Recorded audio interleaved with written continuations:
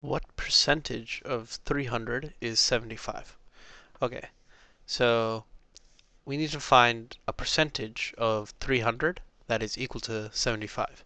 So this can be written as x over a 100 times 300, which equals 75. So this x over 100 is like the percentage, and then we multiply that with 300 to get a percentage of 300, and we want that to equal 75. Okay, so 300 divided by 100 is just equal to 3.